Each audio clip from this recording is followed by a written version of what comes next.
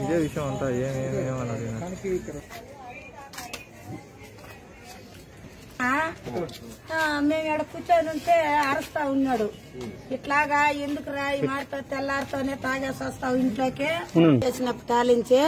ఆ అబ్బాయి మామూలుగా ముందు తాగే అలవాటు ఉంది ఆ అబ్బాయికి మ్యారేజ్ అయితే అవ్వలేదు. మామూలుగా ఈ లాక్డౌన్ చేసిన తాలించి మందులకి మనం పెట్టి కొను కొనుక్కొని తాగలేని సామెతలో ఈ ఈ చేతులు కడుక్కునే ముందు తాగి ఆ అబ్బాయి అలవాటు అయి పుడిసినింది అదే కదా మామూలుగానే అనుకున్నాము మధ్యాహ్నం తాగేసి ఇంటికి వచ్చినాడు. అబ్బాయి అన్న అరస్తా ఉన్నాడు. ఇట్లాగేంద్రా రోజు తాగేసి వచ్చేది? అని అనేసానంటే కడుపు నొప్పిగా ఉండదు. నాకు అన్నాడు. అంటే టాబ్లెట్ ఇచ్చినారు. వాంతి అయ్యింది. ఎమర్జెన్సీగా హాస్పిటల్కి తీసుకొని పోతాను. చనిపోయినారని చెప్పినారు సార్. నాకు తెలిసి ఇక్కడ ఇద్దరు. మళ్ళీ ఏడాడు చనిపోయినారో నాకు పక్కెళ్ళి సార్. ఏంటండి? వీడియో నచ్చిందా?